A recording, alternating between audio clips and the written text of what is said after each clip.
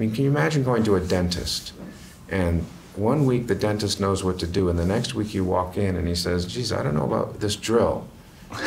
right? I don't know any musicians who have hit or miss technique, dancers, architects, but I know a lot of actors who don't know what they're doing. They either find it or they don't find it, but they don't have a reliable approach unless they've been in the business a long time for how to turn every script they get into behavior.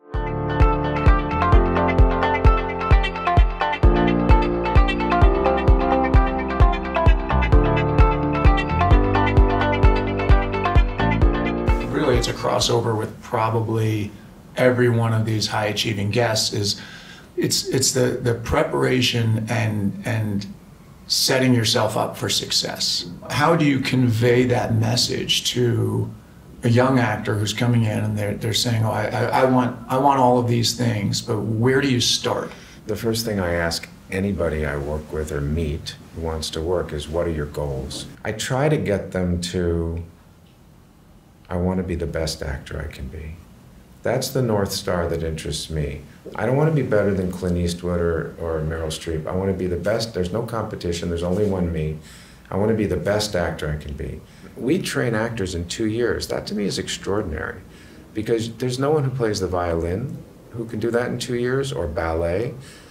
But because innately as human beings, we're storytellers already from the beginning and we see and know how to mimic stuff if we have that interest getting the skills can actually be given in two years. Then it takes 20 years to 10,000 hours to like start to master it. And so it's in the conversation that people self-select, that they see that I'm all in and most really good actors are obsessed and you can't be a dabbler, you can't be a dilettante, you know, and you have to know why you want to do it and really love it, you know, and if you do, you're going to do it. And even then, and they come and study here, and I'm not cheap, I'm not the most expensive, but it's not cheap here. Yeah. You still see people who are very self-sabotaging. You know, they just don't they don't rise up.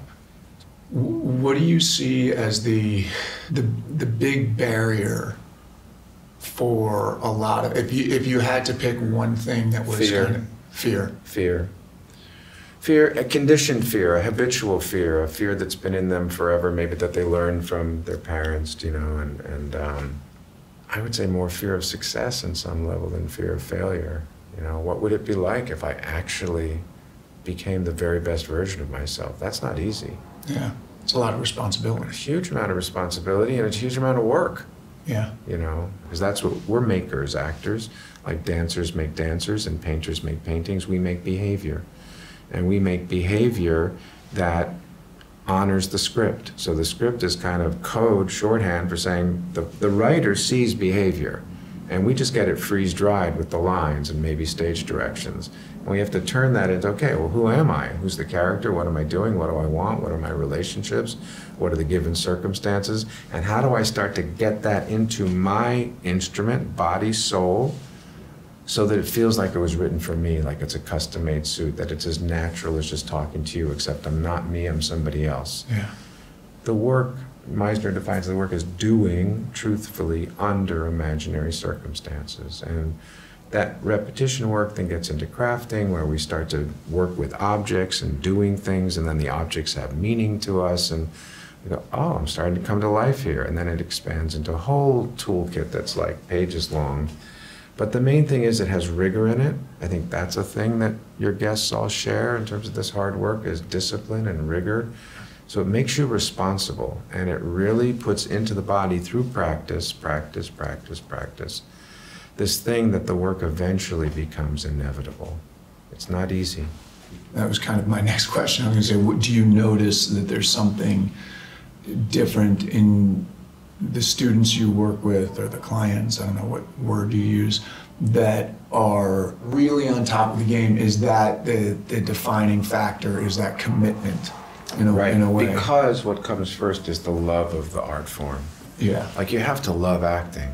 If you yeah. don't love telling stories, if you don't love transformation, if you don't love um, learning lines, it's going to be hard to be an actor because that's what sustains you is like we get to tell these cool stories. Then the question is, okay, so what do I need to do it well? And then the all in is it's a, it's a labor of love. It's joyful.